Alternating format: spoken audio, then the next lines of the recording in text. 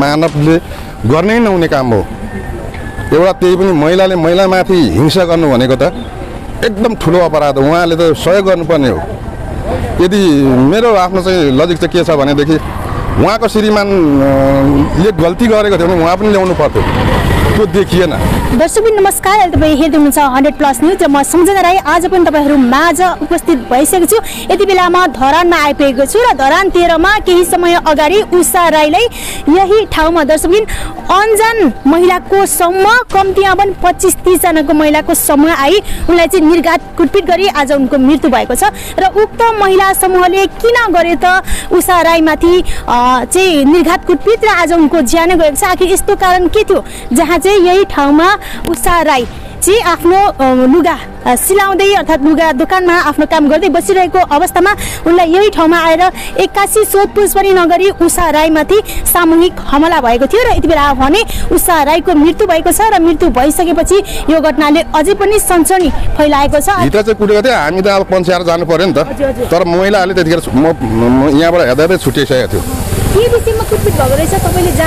यसमा चाहिँ तपाईँको अब कुनैको श्रीमानसँग चाहिँ यो बहिनी चाहिँ लाग्यो भन्ने?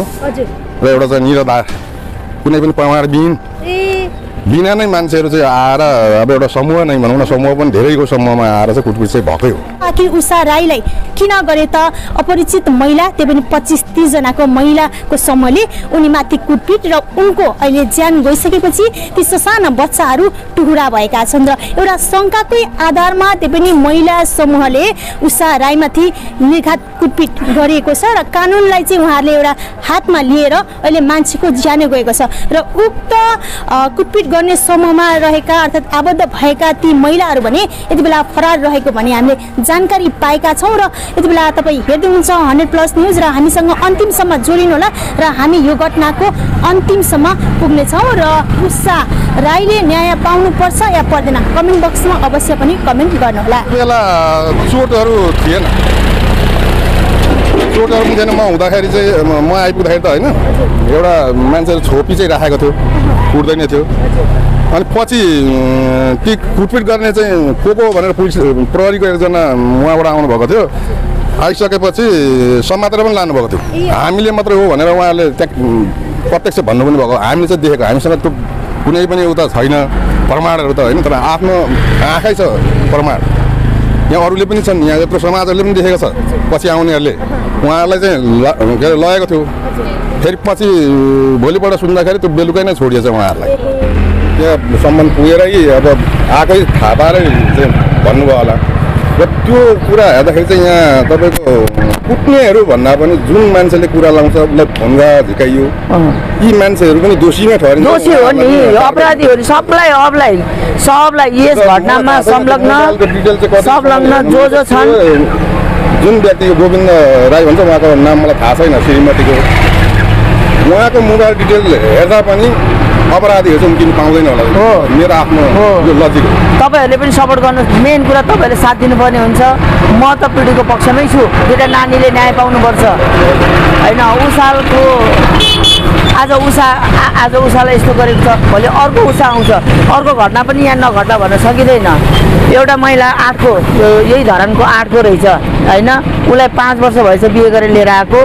अनि उसको श्रीमानले चाहिँ भनौँ न पाँच वर्षसँगै बसेपछि श्रीमान भयो। उसले चाहिँ झुक्क्याएर चाहिँ उसँग बिहा गराएर रहेछ। मेरो बुढीसँग डिभोर्स भइसक्यो। उनी विदेश छ। म चाहिँ यहाँनिर सिङ्गल हो भनेर चाहिँ उसँग चाहिँ जो भनौँ न सहमति बिहे भएर आएको रहेछ। पाँच वर्ष भयो रहेछ। उसलाई यहाँनिर अहिले हिजो दस पन्ध्रजना हुल बाँधेर आएर बेसरी कुटेर गएछ उसलाई पनि। अब यत्रो वर्षसम्म अब जे जस्तो भए पनि अब पाँच वर्षसम्म उसँग सम्बन्ध गइसकेपछि अब चित्त नबुझेको कुरा त कानुन छ नि। कुट्ने चाहिँ किन क्या? हिजो त्यो महिलालाई पनि विचार रुँदै मलाई फोन गरेको थियो। म हिजो अ, वहाँनिर बराक क्षेत्रमा पुगेको थिएँ धन्यवाद र्यालीमा मलाई फोन गरिदियो नानी म अहिले बाहिर छु। म आइसकेपछि म तपाईँसँग कुरा गर्छु है भनेर भनेको थिएँ। अब उहाँहरू उहाँ त्यो कुरामा पनि मलाई उ त्यो लागिरहेको छ। यसरी निर्ममतापूर्वक कसैलाई कुट्नु पिट्नु चाहिँ एकदमै न्यायसँग छैन। यो घटनामा संलग्न जो जो छन् आरोपितहरू सबैले सजाय पाउनुपर्छ। मुख दर्शक भएर हाँस्नेहरूले पनि केही दिनको केही महिनाको केही वर्षको सजाय पाउनुपर्छ कि? किन मान्छे कुटिराखेको छ ऊ हाँसिराखेको छ? त्यसले गर्दाखेरि चाहिँ हामी चाहिँ म चाहिँ चुप्लाएर बस्दिनँ म चाहिँ चुप्लाएर बस्दिनँ। कुनै पनि तपाईँहरू सहमतिको कुराहरू आउँछ नि तपाईँले कुनै हालतमा पनि सहमतिको कुरै हुनै सक्दैन है। तपाईँहरू समाजले सहमतिको कुनै कुरा बाटो गुन्जाइसै छैन। सहमति गुन्जाइसै छैन। हामी समाजले चाहिँ कुटी कुटी मार्ने अनि सहमतिको कुराहरू आउँछ। यो कुनै यसमा यदि सहमतिको लागि जनप्रतिनिधि समाज सेवा सेवा भद्र भलाद्मीहरू अगाडि आयो भने तिनलाई पनि कारबाहीको ठिङ्ग्रामा लाउने हो हामी। सबभन्दा दिदी हजुर हजुरहरूले चाहिँ त्यो काम म चाहिँ छु म चाहिँ छु यो चाहिँ पक्षमा। कुनै राजनीति चल्दैन कुनै राजनीति चल्दैन पीडितले न्याय पाउनुपर्छ। गरिबले न्याय पाउनु पर्यो। पैसा वालको अगाडि गरिबले के न्याय नपाउने? कुनै पनि राजनीति चल्दैन घटनामा चाहिँ पीडित पक्षमा जति देखियो घटनाहरू देखिएको छ त्यो हामी जस्तोको तस्तै चाहिँ बताउनेछौँ। हो। कुनै पनि मोडिफाई हामी कसैलाई फसाउने कुनै पनि मोडिफाई हुन हो। कुनै पनि मोडिफाई हुन पाइँदैन सहमतिको गुन्जाइसै छैन गरिबले पनि न्याय पाउनुपर्छ गरिबले बाँच्ने अधिकार पाउनुपर्छ। एकल महिला हो भनेर उसलाई अनेकौँ बात लगाउने हाम्रो नेपाली समाजमा पहिलो छोरा मान्छेसँग बोल्यो भने फलासँग लाग्यो भने त्यसले पुगेन भने चाहिँ अब बोक्सीको आरोप लगाउने होइन भने लास्टमा आएर अनेकौँ गरेर चाहिँ त्यसलाई चाहिँ मारेरै छाड्ने यो जुन एउटा एउटा एउटा कुसंस्कार छ नि त्यो मानसिकता दिमागबाट निकाल्नु पर्ने छ कि अब चाहिँ यो गरेन भने अझै यो कुराहरू बढ्दै जान्छ हामी चाहिँ छोड्दैनौँ। हजुरहरू जस्तो लाग्ने अँ, हो भने एकदम होइन होइन म चाहिँ म चाहिँ छु यसमा। म चाहिँ छु दाजु यसमा तपाईँ ढुक्क हुनुहोस्।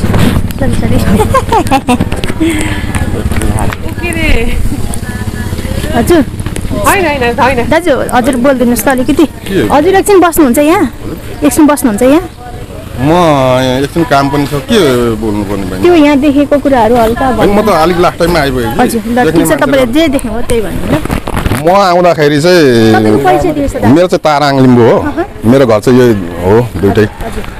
म यहाँ थिइनँ त्यो दिन। म चाहिँ यहाँ माथि थिएँ यो स्ट्यान्ड यहाँ माथि स्ट्यान्डमा थिएँ। अनि मान्छेले फोन गर्यो। अनि फोन गरिसकेपछि आउँदाखेरि चाहिँ मान्छेहरू यहाँ भेला भइसकेको थियो।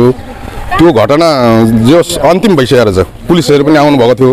त्यतिखेर पनि उहाँहरू मान्छेहरू चाहिँ चिनिँदैन मैले भनिहालेँ। यहाँ मान्छेहरू धेरै धेरै टन्नै थिएँ म आउँदाखेरि। मान्छे म चिन्न सक्दिनँ।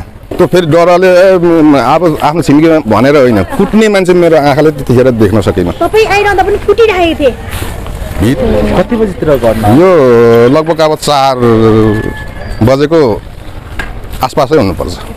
अब हजुरहरूको घर छिमेकमा गाउँ छिमेकमा यस्तो घटनाहरू घटिरहेछ होइन? यसलाई के भन्न चाहनुहुन्छ तपाईँहरू? यसलाई यो चाहिँ एकदम दुःखद दुःखद घटना हो। जुन चाहिँ यो? त्यो हामीलाई थाहा छैन होइन? त्यो परमा उहाँले खोइ त अब देखाउनु सक्नु भएन। परमा देखाएको त पुलिस प्रशासन थियो होला नि त।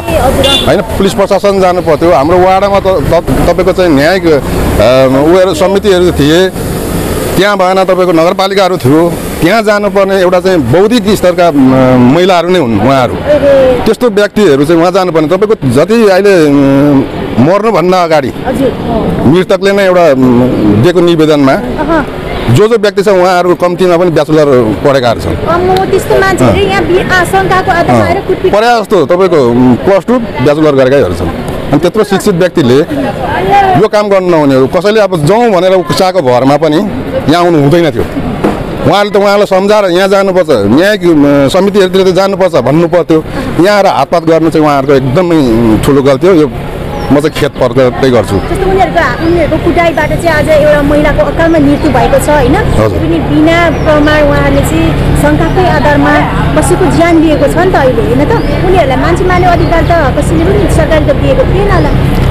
कानुनभन्दा माथि त कोही पनि हुँदैन। जस्तै अब तपाईँले त्यहाँ चाहिँ आएर देखिरहँदाखेरि प्रहरी पनि थिए र धेरै मान्छेको गुन्जो थियो भन्दै हुनुहुन्थ्यो होइन? र उषा राईले चाहिँ कस्तो अवस्थामा तपाईँले देख्नुभयो? कहाँ कहाँ चोट लागेको थियो? त्यो कुटपिट गर्नेहरूलाई। हजुर। अब कुटपिट गर्ने चाहिँ कतिजना महिलाहरूको समूह जस्तो थियो जस्तै बाह्र पन्ध्र। त्यो त भन्न सकिँदैन यहाँ मान्छेहरू अब धेरै नै थिए होइन? अब धेरै थियो। को को थिए को को थिएन भन्ने कुरा चाहिँ अब जुन जुन मर्ने बेलामा उहाँ चाहिँ मृत्यु मृत्यु नभई नभई अगाडि नै उहाँले एउटा चाहिँ निवेदन दिएको छ त्यसमा खुलेको छ। उहाँ त्यतिले मात्र पुग्दैन उहाँले कतिले दिनुभयो उहाँ पनि अब के अब कुटे खाएपछि एउटा सेन्सलेसै भइसकेको थियो होला होइन? अब उहाँहरूबाट मैले भनिहालेँ सबभन्दा अहिलेको चाहिँ म आफूलाई चाहिँ कस्तो लाग्छ भने उहाँहरूको मोबाइल डिटेल होइन? त्यो कति हेर्न पाइन्छ कहाँसम्म हेर्न पाइन्छ त्यो हेऱ्यो भनेदेखि सबै छर्लङ्गै हुन्छ भनेपछि उषा लिम्बू उषा राईको चाहिँ जुन अहिले आरोपित छन् होइन। उषा लिम्बू त मृत्यु भइसक्यो जुन अहिले चाहिँ राई हो। होइन। उहाँहरूको चाहिँ श्रीमान उहाँको चाहिँ श्रीमानसँग फोनमा बोलेको हो कि होइन भन्ने कुरा चाहिँ कल डिटेल यो हामीलाई थाहा छैन हामीले चाहिँ जुन देखियो घटना त्यो हो अब अरू कुराहरू चाहिँ त्यतिखेर अब को दोषी थिए के थिए पहिलेको कुरा। अब पछि चाहिँ उहाँहरू दोषी हुनुहुन्छ। जो यहाँ कुटपिटमा संलग्न हुनुहुन्छ उहाँहरू चाहिँ दोषी हुनुहुन्छ। उहाँलाई त कडाभन्दा कडा सजाय हुनुपर्छ। बच्चाहरू चाहिँ तपाईँको एउटा बिजोग अवस्थामा छ होइन? बाउ आमा बाउको पहिले नै मृत्यु भइसक्यो आमा पनि यसरी चाहिँ मृत्यु भइसकेपछि एउटा बिलिबार छ। उहाँहरू त सडकमा उर्लिसकेका बच्चाहरू। त्यो चाहिँ अब जुन अभियुक्तहरू ठहरिन्छन् उहाँहरूले भरण पोषण गर्नुपर्छ जुन बच्चाहरूको चाहिँ। स्वास्थ्य शिक्षा होइन उहाँहरूको चाहिँ हेरचाह सबै काम गर्नुपर्छ। सजाय त छै छ त्यो काम चाहिँ उहाँहरूले गर्नैपर्छ धरान जस्तै एउटा सुसम्पन्न ठाउँ एउटा होइन विकसित एउटा चेतनशील भएको ठाउँमा यस्ता खालका घटनाहरू घटिरहँदाखेरि कहीँ कतै होइन समाजमा समाजमा चाहिँ अपराध रहितको समाज भनेर परिकल्पना गर्ने चाहिँ कुनै समय ठाउँै रहेन होइन। एउटा मानव मानव त हराएकै जस्तो देखियो समाजै। यो एउटा धरानको लागि एउटा समाजको लागि एकदम नराम्रो पक्ष हो। र म त अब के भन्न चाहन्छु भने लास्टमा मैले चाहिँ एउटा आमा समूह चाहिँ कुनै पनि संस्था खडा गर्दाखेरि अथवा अथवा त्यहाँ चाहिँ तपाईँको समितिहरू छान्दाखेरि एउटा दक्ष व्यक्ति जसले कानुन जानेको होस् होइन? हरेक कुराहरू थाहा पाएको व्यक्तिलाई चाहिँ आमा समूहको चाहिँ समितिमा राख्नुपर्छ। जो मान्छे चाहिँ अब एउटा बुझेकै छैन एक हो र क्या अरूले उक्साको भरमा हिँड्ने खालको उसलाई कानुन पनि थाहा छैन। त्यस्ता व्यक्तिहरूलाई चाहिँ म भन्छु नेपाल अधि राज्यमै आमा समूहको अध्यक्ष र समितिमा राख्नुहुन्न भन्ने मेरो चाहिँ ठहर हो। दाइ हजुर बोल्दै म अलिकति जोडिन चाहन्छु। आमा समूह भनेको त महिनावारी यस्तो केही किस्ताहरू कलेक्सन गरेर चाहिँ केही गर्ने होइन र यो आमा समूहले चाहिँ यसरी चाहिँ अरूको घरमा गएर शङ्काको भरमा मान्छे कुट्ने त होइन नि। खासमा- उहाँ महिला अन्याय नै थिए भन्दा उहाँ चाहिँ महिला अधिकार मञ्चहरू छन् त्यहाँ जान्थे नि त होइन र खासमा गर्नुपर्ने चाहिँ उहाँहरूले हो तर अहिले हामीले जति पनि देखिए पनि अब नियम कानुनमा नभए तापनि जति समाजमा देखिएको छ उहाँहरूले समाजमा भएको घटनाहरू मिलाउने काम गरिरहेको छ तर कतिपयले राम्रो घटना एउटा चाहिँ निष्पक्ष तरिकाले घटनाहरूलाई मिलाउन सकेका छ। भने कतिले चाहिँ तपाईँको के छ भने गलतलाई सही र सहीलाई गलत भन्ने किसिमको निर्णयहरू बढी गरेको देखेको छ आमा समूहले यो घटनाबाट म के भन्न चाहन्छु भने नेपाल आदि राज्यका आमा समूहका चाहिँ समितिमा रहनुभएका तमाम आमा दिदीबहिनीहरूलाई चाहिँ हरेक कुराहरू सोचेर गरिदिनुहोस्। कुनै पनि गलत एउटा निर्दोष होइन? गरिब सबैभन्दा त यहाँ त देखिएको त गरिब त्यस्तो चाहिँ देखिराखेको छ। निसाय व्यक्तिहरूको अम, मा पनि राम्रोसँग चाहिँ छानबिन गरिदिनुहोस्। जुन कि पीडित हुँदा हुँदै के अरे पीडित हुँदा हुँदै पनि ऊ चाहिँ अब नपीडित जस्तो नहोस्।